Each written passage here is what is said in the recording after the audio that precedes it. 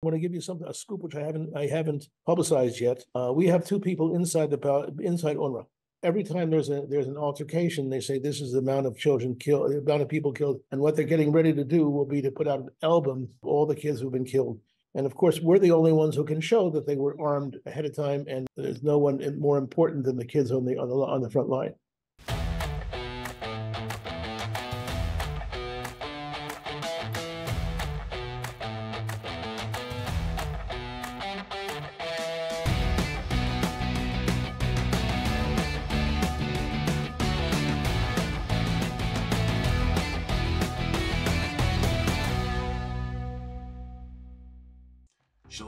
Welcome back to Right Side In. I'm your host, Jeffrey Ben Zane. Thank you so much for joining us. I trust that everything is well on your side of God's green earth. We have a pretty amazing podcast lined up for today. I had the opportunity to sit down with Israeli investigative journalist and author, Mr. David Bedein, director of the Nahum Bedein Center, as well as IsraelBehindTheNews.com. David provides his expert analysis on the ongoing war in Gaza how the war was completely avoidable, and certainly no surprise to anyone mildly paying attention. We talk about the double standard at the UN when it comes to handling the Palestinian refugees versus everywhere else in the world. We also talk about Biden's ridiculous, over the top executive order targeting Jewish residents in Judea and Samaria.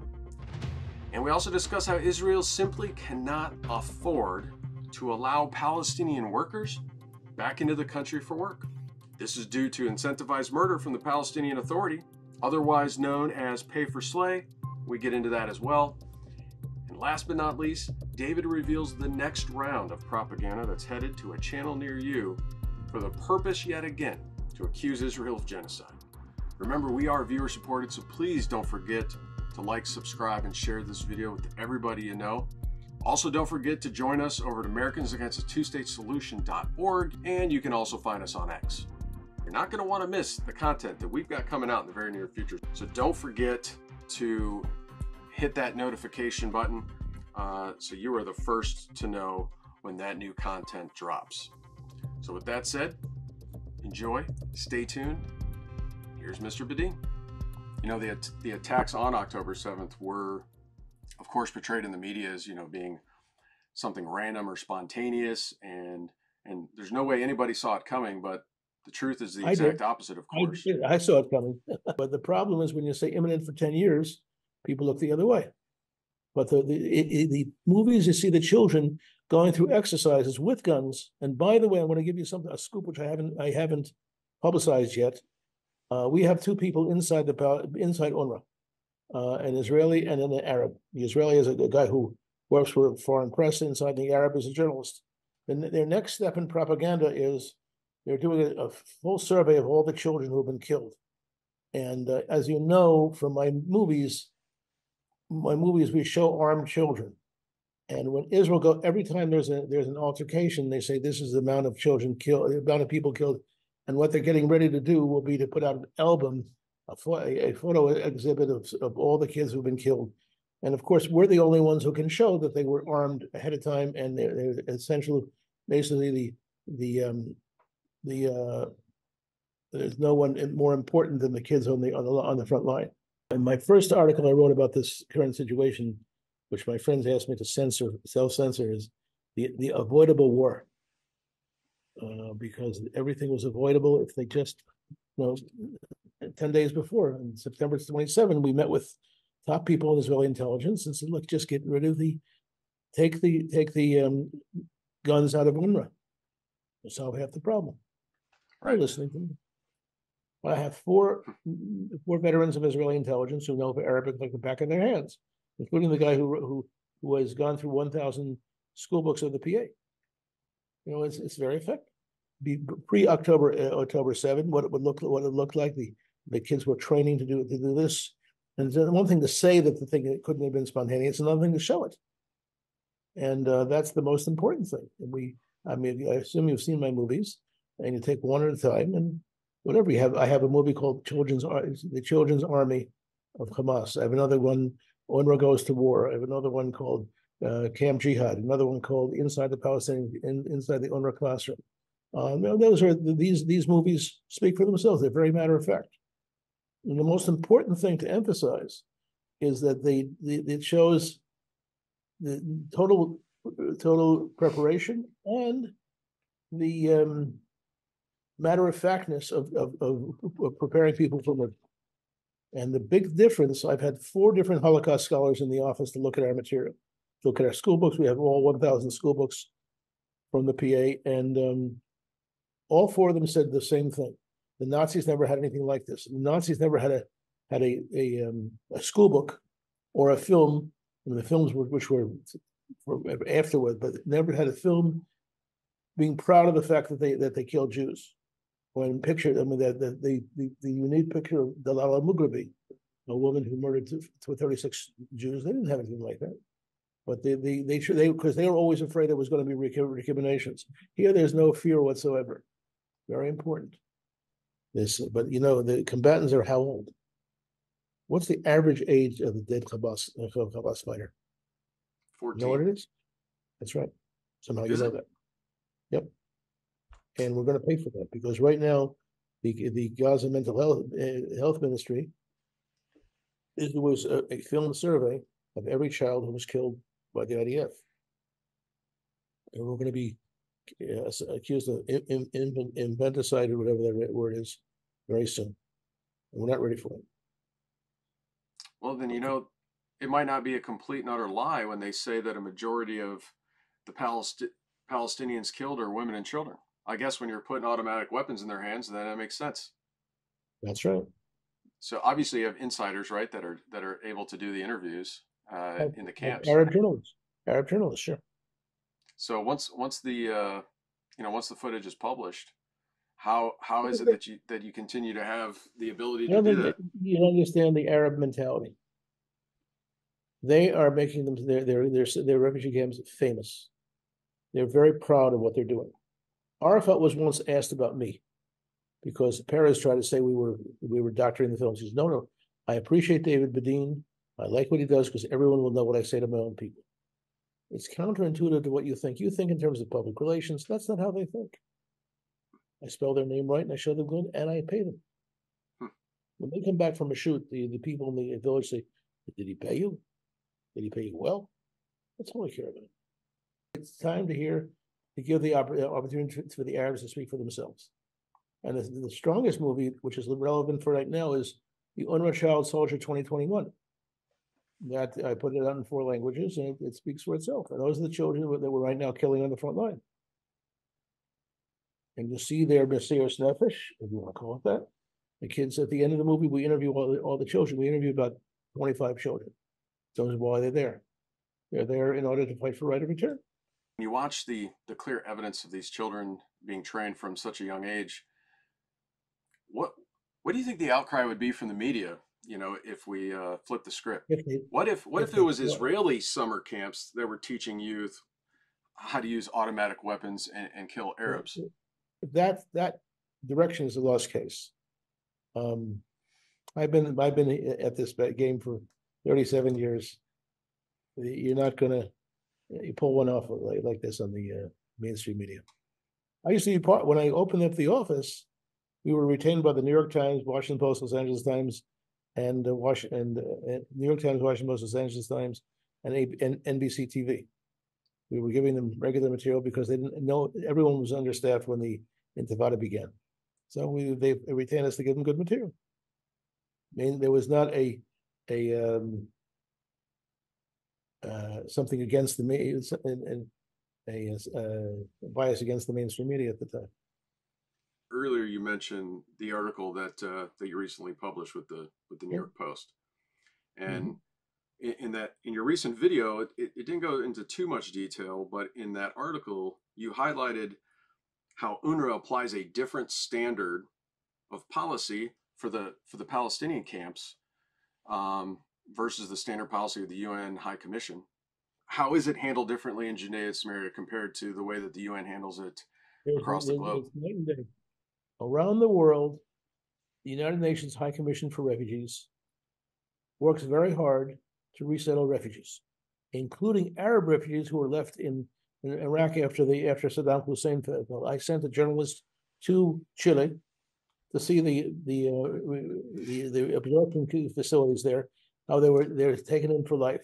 As opposed to here, where they're, they're refugees for perpetuity. And it's, it's hysterical because it's called temporary, the, the refugee camps are called temporary refugee camps, temporary since nineteen forty-nine, it's ridiculous.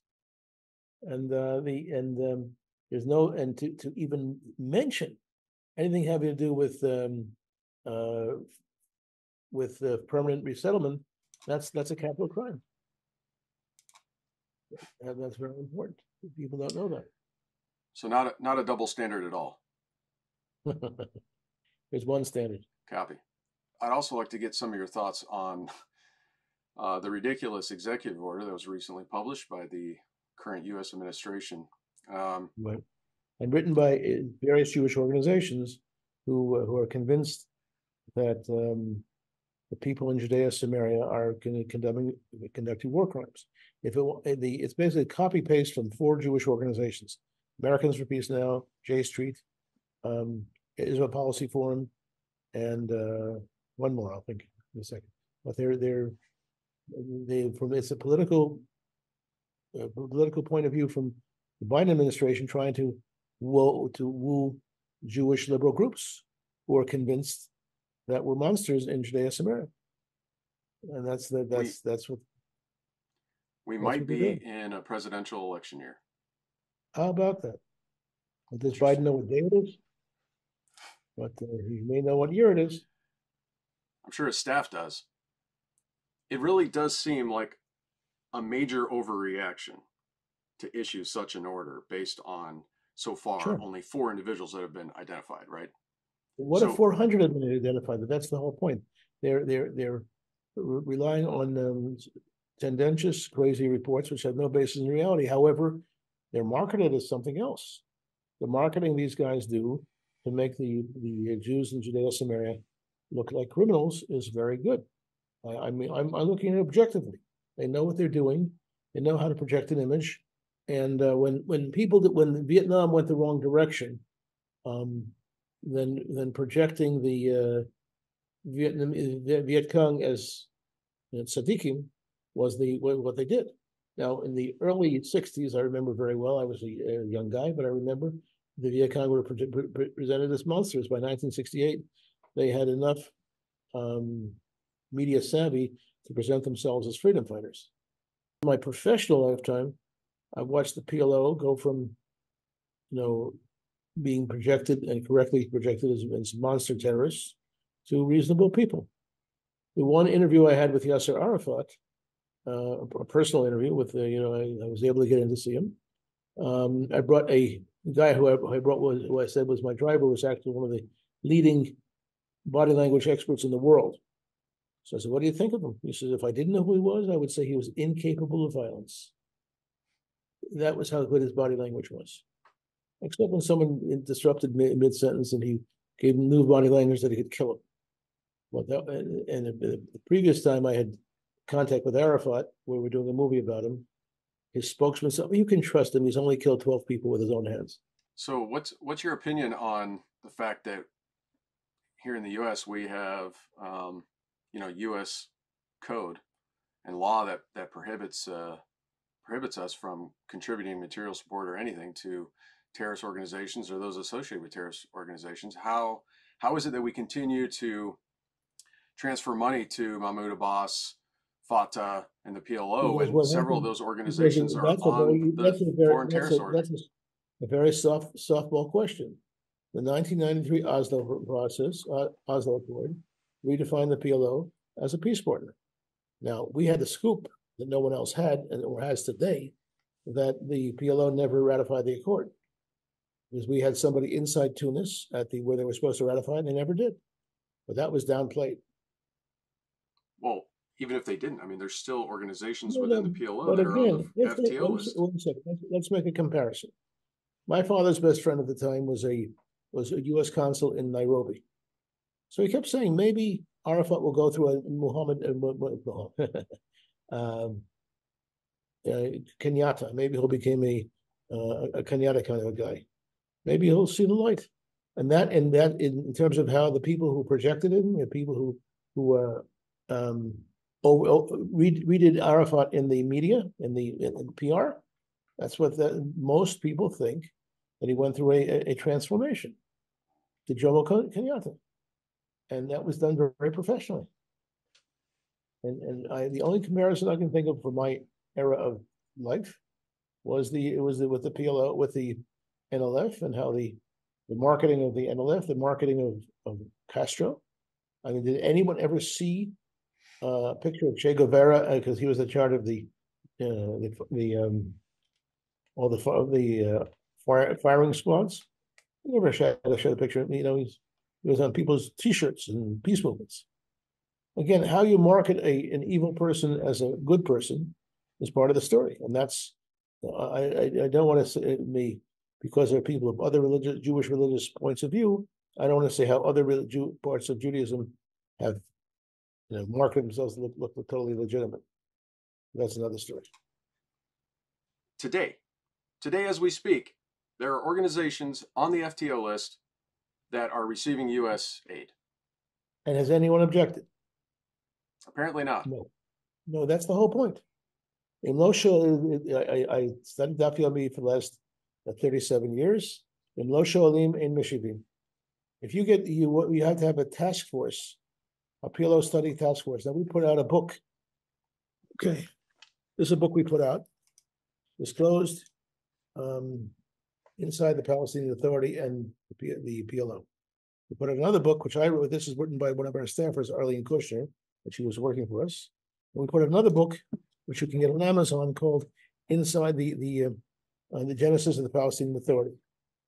So get, get together a task force to look at what's happening.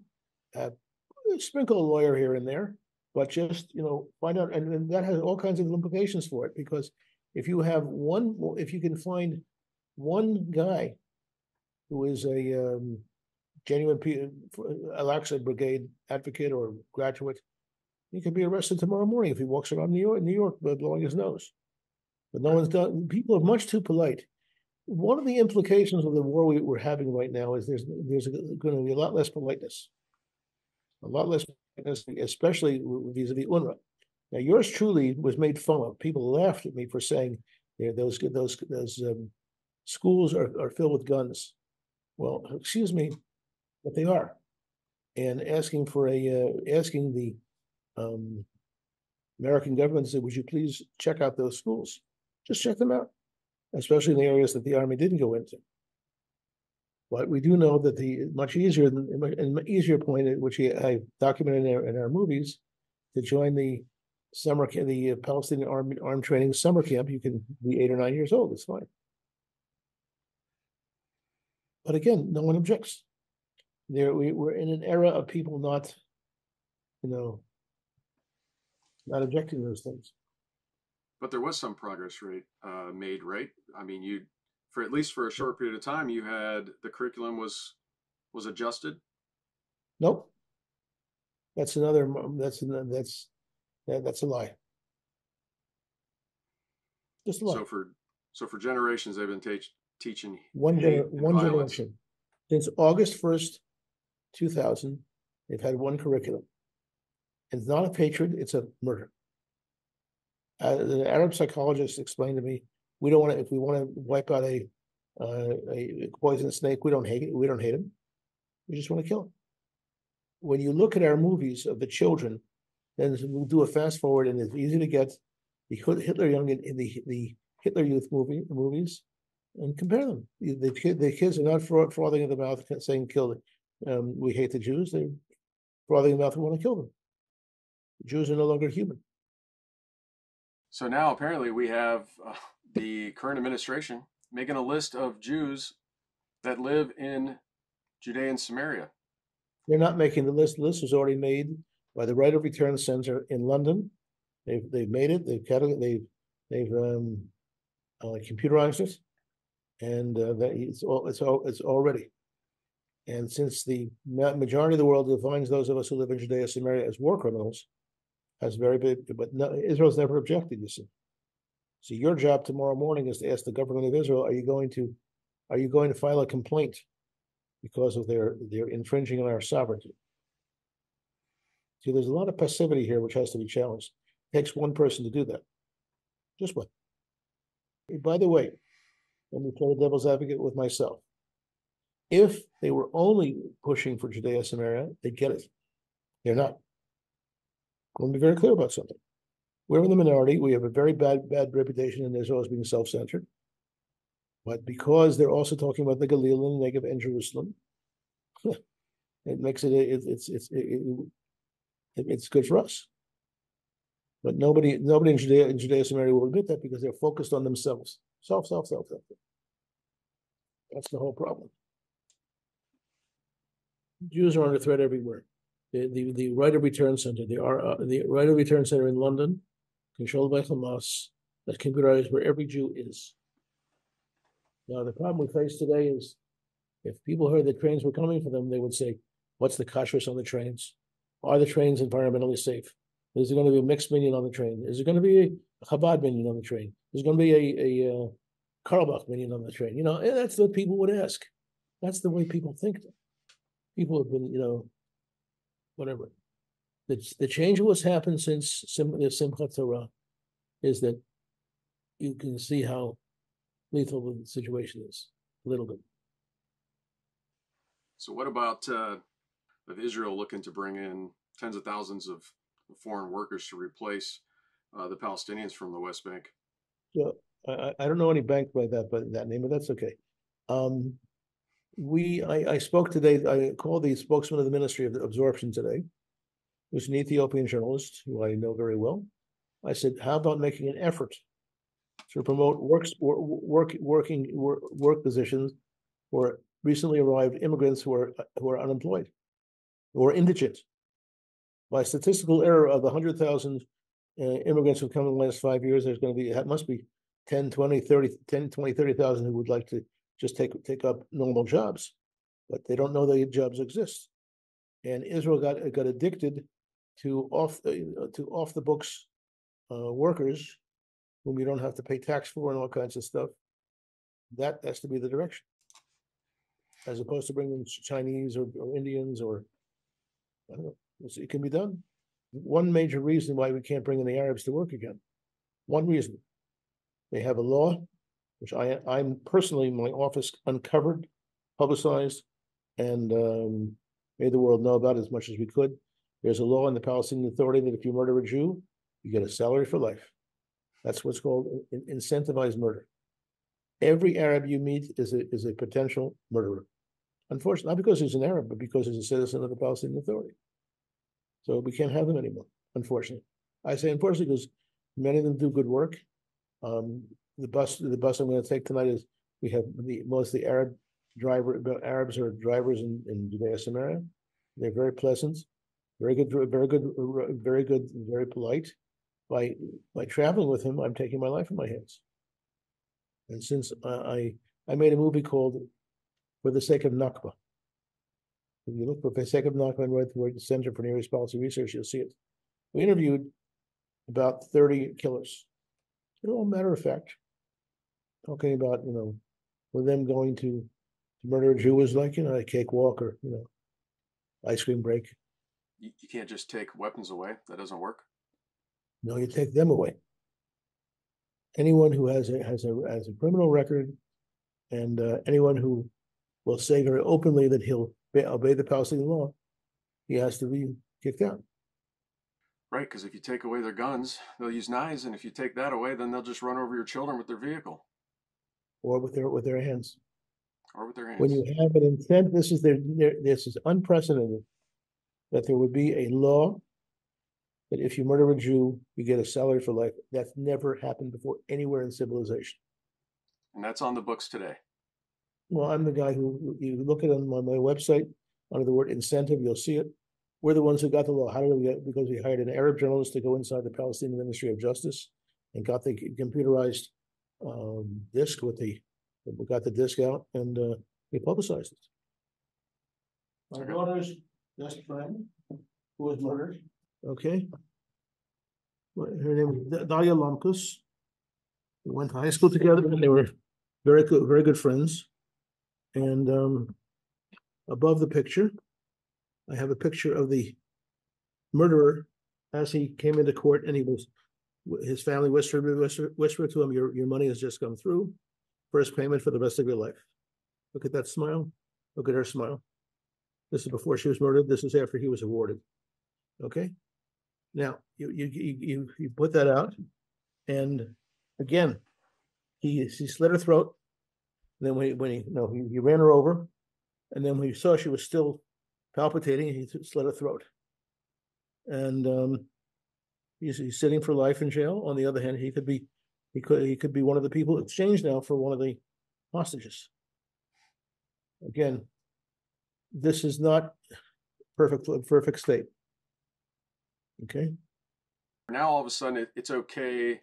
It's the best uh, policy to negotiate with, well, with it- it- terrorists and the- hostage takers. As Here's the, here's the way, the, the, the, the key moment of change came when Peres wrote a book called The New Middle East. And uh, in, in that, in that New Middle East, everything's going to be different now. We're going to, we're, going to beat the, beat our plowshares into investment file, in, investment portfolios. And we're going to have a different situation where this, the, he imagined that the guy who instead of placing a bomb, bombs on cars, he would be uh, fixing a motorcycle, that type of thing. The illusion that if you get, you have a, a guy has a bet, a better economic circumstance, that he'll be a better, better person. And that's what Peres sold to a whole world of, of, of Jews. And I'd like to do a new movie, composite film of all the incitement over a period of ten years to show that it was whatever. I don't have any money to work with because the the dumb people I work with, oh, everyone knows. People don't know. That's- is this that's- the uh, is this the the road to October that you were talking about? Mhm. The road to October seventh, yes. That's right. People have to know. And uh, the rest of Israel has to know that they're all under siege. And the reason why it's not being stopped is because UNRWA is a very good customer. And look on the first first article on my website today. Four hundred Israeli corporations selling their products to UNRWA and to the PA. Money talks, and you know what walks. All right, my friend. All right. Thank you. The media wants to spin the news and have you believe that the current issues in UNRWA are isolated events relating to just a handful of employees, when in reality, the, the corruption within the agency is systemic and has been ongoing for decades. Please remember to head over to Israel Behind the News and help support David's work as they're preparing to ramp up production for a brand new documentary covering the events leading up to the October 7th attack. You can also find David over at cfnepr.com. I trust our discussion with David today was a blessing. We look forward to seeing you on the next podcast. Pray for the peace of Jerusalem, pray for the IDF, and pray for the release of every single hostage.